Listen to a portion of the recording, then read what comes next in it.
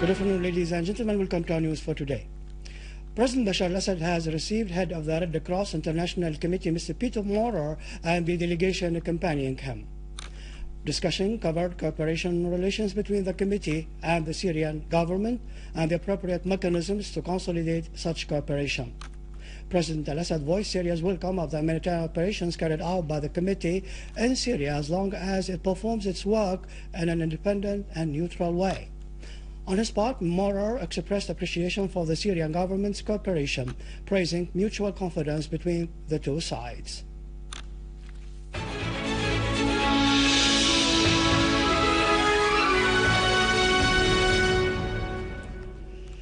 Army units have chased a terrorist group who tried to attack law enforcement troops near Halat village in Tel Kalakh suburbs, killing two gunmen and capturing a third terrorist, Ahmed Suleiman Hassan.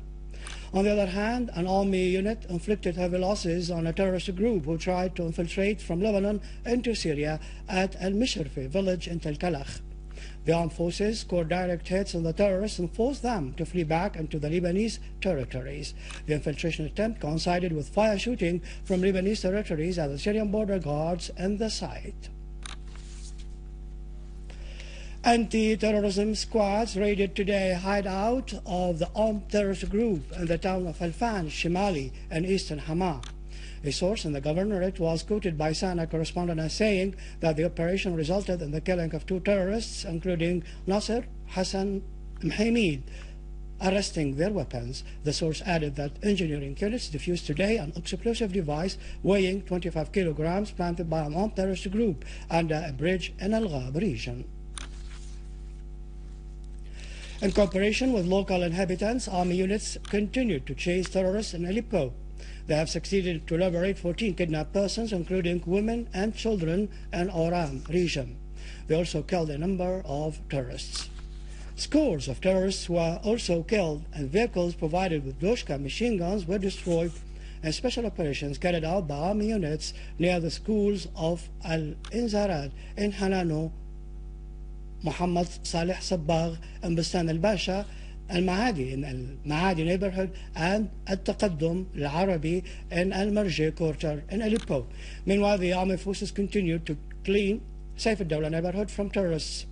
They have found documents and charts that included the names of terrorist groups and their distribution. They also found various weapons and communication equipment in an apartment used by terrorists in Saif al-Dawla neighborhood.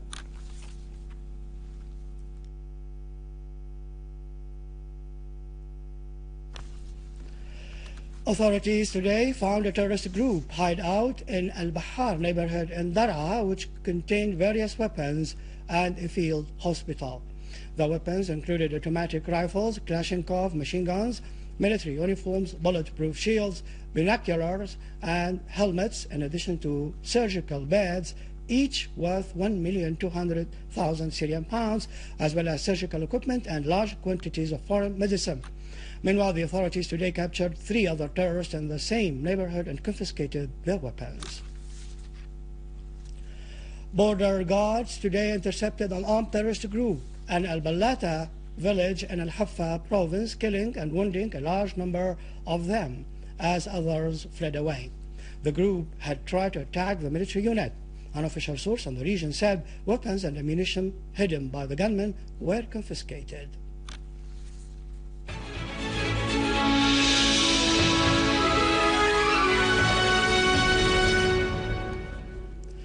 Russian Deputy Foreign Minister Mikhail Bogdanov held a meeting with a delegation representing the Syrian internal opposition.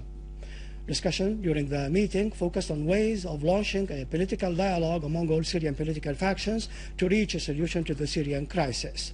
Member of the Peaceful Change Current, Abdulhadi Shahada, said discussions with the Russian side were positive, pointing out that the Russian side has always been supportive of the Syrian people.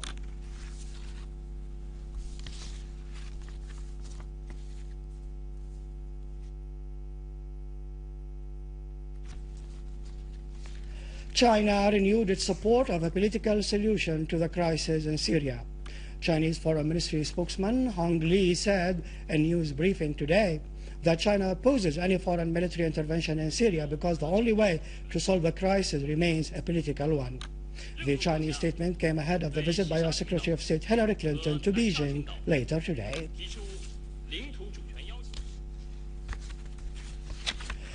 Finally, Secretary General of Hezbollah Party, Sayyed Hassan Nasrallah, underlined that the stance of national resistance in Lebanon towards events in Syria is different from what has happened in other countries, as it confronts the US-backed Zionist project, supports resistance, and shows readiness for dialogue and reforms. In an interview with the Mayadeen TV channel, Nasrallah called for a halt of violence in Syria a start of dialogue in order to make a political settlement a light of positive role played by countries like Russia and Iran to protect Syria from chaos and destruction. Nasrallah stressed that Iran exerts genuine efforts with any regional and international effort to find a solution to the crisis in Syria.